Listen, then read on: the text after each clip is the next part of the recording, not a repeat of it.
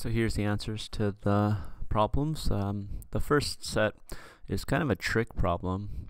Uh, it's find the sum of the measure of the exterior angles of each convex polygon. They give you a decagon, which is 10-sided, and a 16gon, which has 16 sides.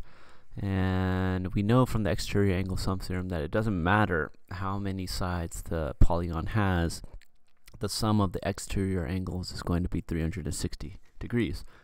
So for this one is 360, 360 as well. And then they give us a number of sides and they say find the measure of each exterior angle. And so to do that, um, oh, and here it's a regular polygon, right? That's key, that's important, which means that all the sides are the same, which means all the measures of the interior angles are the same, and the measure of all the exterior angles are the same. So since the measure of all the exterior angles are the same, are the same uh, to add them all up, we would do x, we let x be the measure of each exterior angle. It would be 12x is equal to 360 would be the equation that we can create and then we could solve for it. Here would be 6x is equal to 360, and here would be 20x is equal to 360, and we come up with these solutions here.